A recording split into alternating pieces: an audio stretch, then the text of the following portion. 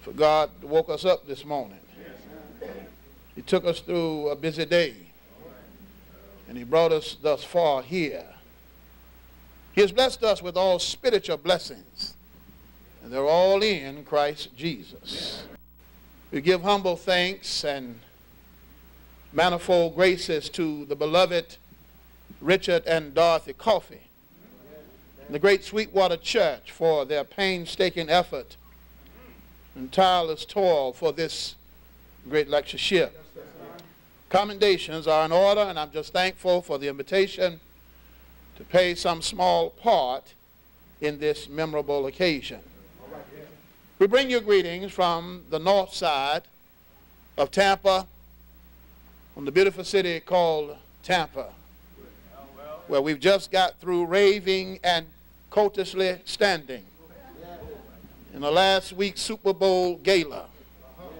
And our city will never be the same. We're thankful to the saints at Northside who snuck up on me tonight to make sure I was where I said I was going. thankful to all of those who have come and, and those who are traveling and some new converts are with them too. And my wife is also with us tonight. And I want her to stand at this time. Amen. She put up with me for quite a long time. And if she's planning on leaving, I just wanted to know I ain't going to be left. Uh, but I'm just thankful she has a strong constitution. I have a wife who has a beautiful, quiet spirit. And she tell you what she want to tell you, and she mean what she says, and she says what she means. And she's not well right now, but she's here anyhow. Going to have to have some major surgery in two weeks. I want you to pray for her. And I pray to God that God will bless us. I'm thankful to God for the invitation by my good friend, Brother Johnny Daniels, as he flowered me up, and I had to wonder who he was talking about, great gospel preacher. Reminded of the story of the family whose father had passed, and he was a derelict and a crook all his life. And after they had the eulogy, the preacher didn't know him well and began to flower him up and speak words of honesty and kindness. And the mother, who was solemn and in bereavement, suddenly perked up and nudged the son and said, Son, go look in that casket and make sure your daddy's still there. Know who he's talking about, but, but Johnny Daniels, my good friend, over the years. After looking at the program upon registration, I found out that not only do they fix ballots in North Florida, but they set up preachers also. Put me behind two firehouses of the faith was an injustice. You've already had your two main courses. And I'm just going to give you an appetizer. I've learned a long time ago that you can't chase a T-bone steak or a New York strip with chopped liver. You can't run down a stealth bomber with a crop duster, let alone two stealth bombers. But I'm thankful to God that I'm here. To my good friend Walter Hewlett, you did a marvelous job from the panhandle of Texas. Amen. And also to my grounded and sound good friend, Brother Eddie Gilmore. Me and Brother Eddie Gilmore went to Southwestern together too. And Brother Eddie Gilmore used to be an athlete. He used to, we used to play football together. Eddie Harper was the quarterback. And Eddie Gilmore was the center. And he used to clear the line. Clear the line.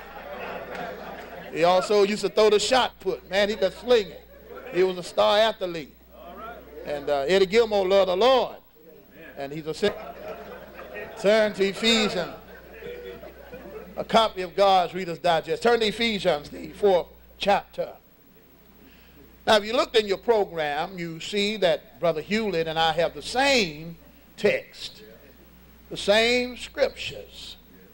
And I've learned a long time ago to follow orders. I look at some situations of adversity optimistically. When you're thrown the blade of adversity, either you grab it by the blade and get cut up, or grab it by the handle and use it. And I pray to God we can use it tonight. I'm reminded of a missionary who went off into the country, and there he went through the fields of Africa and he saw a seven foot bear. And he didn't know what to do. And he, being a young athlete, like Eddie used to be, he saw the nearest tree and he started backing up to it. But the nearest branch was nine feet in the air. And he said, You know, I haven't jumped nine feet in a long time. So he backed up and the bear ran up on him. And he jumped and he missed the limb. But he caught it on the way down. That's optimism. That's optimism. Church, we need to be optimists.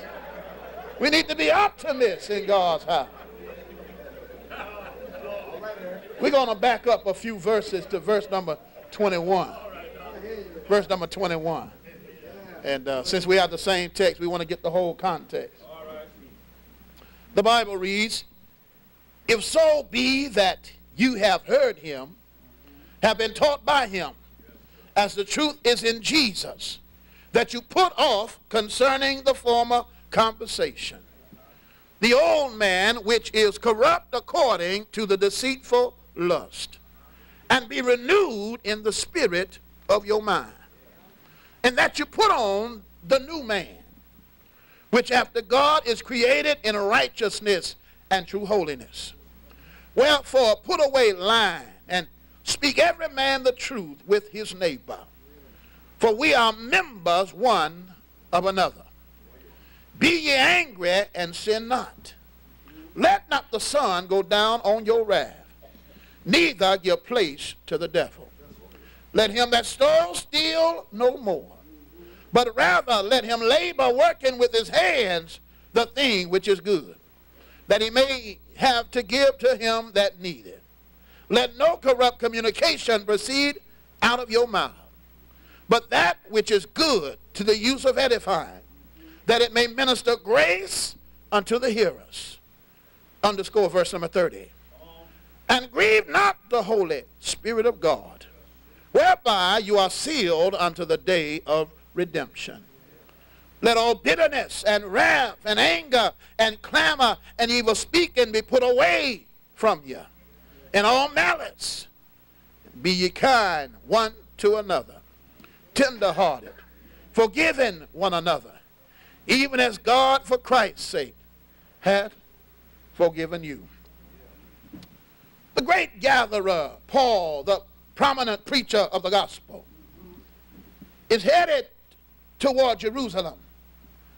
And while he was headed toward Jerusalem, he went by a city called Ephesus. And there he established the Lord's church there. He met with them on several occasions. He met with them to encourage them, to admonish them, to strengthen them, to keep the elders going in the right direction. But this letter is being penned from a Roman prison. Before the Praetorian Guard, Paul, through the Spirit, pens this letter of encouragement because there was heresy and problems arising in the church. Brethren, when problems arise in the church, we need spiritual folk to help us with our differences. When problems arise in the church, we need godly, humble folk, meek in spirit to help us with our problems. We need godly attitudes to quench lofty altitudes. But I like Paul because Paul is like a spiritual umpire.